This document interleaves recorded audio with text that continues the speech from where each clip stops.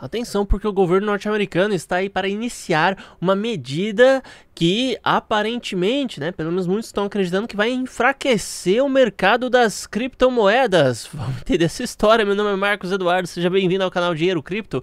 Eu te convido a se inscrever, ativar o sininho das notificações e deixa um like nesse vídeo para você mostrar para as plataformas que esse conteúdo é útil, é algo que lhe agrada, né? Assim você me ajuda bastante também. E o segundo link na descrição é referente ao robô de operações que eu utilizo. Caso você queira conhecê-lo, manda bala aí, segundo link, tá? Tendo dito isso, então vamos compartilhar aqui o que Vamos lá, a criação do dólar digital dos Estados Unidos enfraqueceria o ecossistema de criptomoeda e protegeria a segurança nacional dos Estados Unidos, de acordo com um ex-consultor do governo do presidente Joe Biden. Então, uh, é, o, é o Dalet Sig, eu não sei falar o nome dele, enfim. Ele é ex-vice-consultor de segurança nacional, da economia internacional, da administração de Biden. Então ele fez comentários em uma audiência no comitê bancário do Senado, isso foi ainda no dia 28, ó, e sugerindo que as criptomoedas é, facilitem ataques de ransomware e contribuam para a evasão de sanções dos Estados Unidos. Ele acredita que o incentivo governamental para o lançamento de uma moeda digital de Banco Central, ou seja, uma CBDC, é o melhor passo que poderíamos, né, poderíamos eles, né, eles poderiam dar para proteger os interesses nacionais, porque ela enfraqueceria o ecossistema de criptografia, né, de, de criptomoedas, na verdade. Só uma traduçãozinha aqui, mas correto seria criptomoedas. Uh, bom, e daí a gente sabe o seguinte, né, é, é meio difícil você falar assim, por que, que uma pessoa usa criptomoedas? Porque vai depender muito da região onde ela mora. Se você pega aqui o, o Brasil, vamos ser sinceros, o pessoal entra em criptomoeda porque quer ganhar dinheiro fácil, quer enriquecer do dia para noite, né? Eu não tô falando assim todo mundo, tô falando é, a maior, tal, metade ou talvez a maior parte do, do, dinheiro que rola em criptomoeda é a galera que quer dinheiro rápido, né? Dinheiro fácil, depois acaba se iludindo e gradativamente vão estudando a respeito do assunto, muitos estudam, começam a aprender mais. Bom, em segundo lugar, em segundo ponto, a gente pode citar, por exemplo, é, a Ucrânia. Né? Para que, que a Ucrânia está usando criptomoedas? Está usando criptomoedas no seu dia a dia porque os bancos eles fecharam as portas. Então é difícil para as pessoas. Como que você vai usar o seu dinheiro? Então o pouco dinheiro que elas tinham, elas foram é, iniciando comércios, é, é comercialização em criptomoedas porque aconteceu uma corrida para os saques por conta do ataque da Rússia.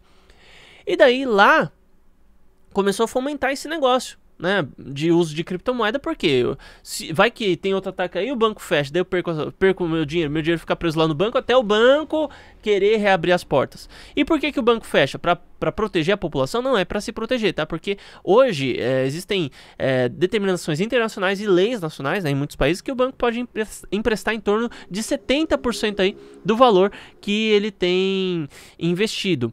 Tendo dito isso, então, você imagina, né? Se realmente todo mundo correr para sacar o seu dinheiro, tecnicamente o banco quebra. Ele não vai ter como dar o dinheiro de todo mundo e ele vai à falência. É, daí o que, que faz com esses empréstimos e tudo? Vai, vai chegar e vai falar para as pessoas assim, ah, não tem seu dinheiro aqui, né? E, e, a maior parte das pessoas, inclusive, isso não é um segredo, é, mas a maior parte das pessoas não sabe disso. Bom, e daí o pessoal começou a usar a criptomoeda, né? Porque o medo do banco fechar e tudo mais. Uh, e a Ucrânia também começou a receber doações em criptomoedas. Então, você, até certo ponto, entre aspas, né, anonimamente, pode fazer uma doação para os caras. Rússia. Governo russo, né? Existem muitas, muitos indicativos de que a Rússia usa criptomoedas aí para contornar sanções internacionais. Venezuela. Venezuela, o pessoal usa criptomoeda porque eles sofrem uma forte crise de inflação. Então, assim, pô, o governo lá chegou a proibir o uso de Bitcoin e criptomoedas. Mas o que, que os caras fizeram? Não, vamos aqui começar a usar no nosso comércio local e tal, porque não tem como, né, cara? Vamos ficar aí pagando pau pro governo e deixar a criançada morrer de fome? Não tem como. Daí você pega o governo norte-americano. Eles não estão passando por uma. Eles até passam por, por uma inflação, mas não é uma crise de inflação. Eles estão passando aí por impressão de dinheiro e tudo mais. Mas assim, o americano, ele muito provavelmente está investido nas criptomoedas é, por motivos diversos, né? Seja fundamento, seja para fugir do governo, seja para talvez em determinado ponto fomentar o comércio local, mas o americano é muito patriota, né? Então ele gosta do dólar e tudo mais. Então, no contexto geral, a forma com a qual o americano usa criptomoedas é bem diferente do resto do mundo e cada ponto do mundo tem aí uma motivação.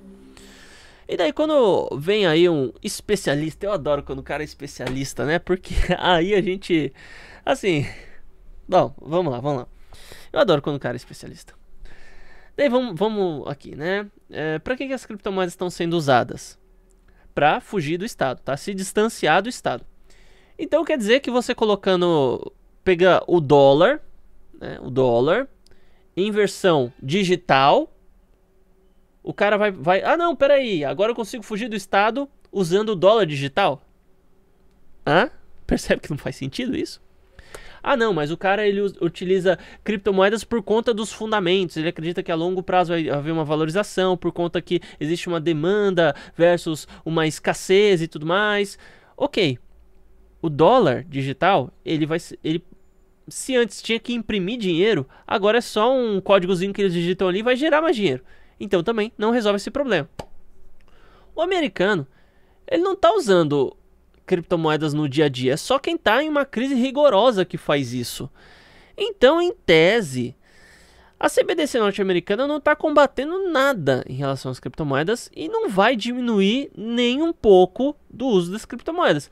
Talvez, e só talvez venha diminuir as stablecoins, que é uma outra coisa, né, que são ativos centralizados. Então, pode ser sim que a disponibilidade do uso da stablecoin, CBDC, dólar, faça com que as stablecoins é, venham a fraquejar, né? Até porque elas são baseadas no dólar norte-americano. Então, por que, que você vai usar um vale dólar se você pode usar o dólar diretamente? Né? Então, eu vejo que aí sim Aí sim, ó, BUSD, USDC, USDT, né? Vai tudo rala abaixo. Agora, vamos, vamos dar uma especulada aqui, porque isso daqui vale a pena a gente especular. Imagina só um aplicativo, uma wallet gringa, mesmo que só tenha em inglês, que você possa guardar CBDC gringa. Pô, rapaz, Aí sim vai fortalecer o governo norte-americano. Imagina, você não precisar de casa de câmbio. Imagina você entrar em uma corretora como a Binance, Coinbase, né, que agora está aceitando Pix, e começar a fazer trade, ao invés de usar o SDT, você usar o S, o, o sei lá, o, não sei qual vai ser o nome do, do dólar norte-americano, mas usar diretamente a, a, a, a CBDC norte-americana. Rapaz, pra que que você vai querer qualquer stablecoin você pode ter direto o original ali da fonte. Não que eu esteja defendendo o dólar, mas eu estou falando que tem muita gente que dolariza seu patrimônio com stablecoin. Então, por que não dolarizar diretamente com o dólar?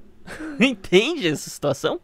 Então, por conta disso, eu penso que nesse sentido, sim, as pessoas vão usar mais e pode até fortalecer o dólar, vai fazer com que o dólar seja aceito no mundo todo se tiver essa questão do aplicativo ou, ou da carteira ou da listagem em corretoras de cripto para pessoas fora dos Estados Unidos.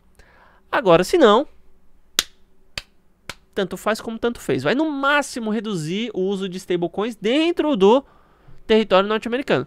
Fora isso, não tem utilidade nenhuma, tá bom? Então é isso, muito obrigado e até mais.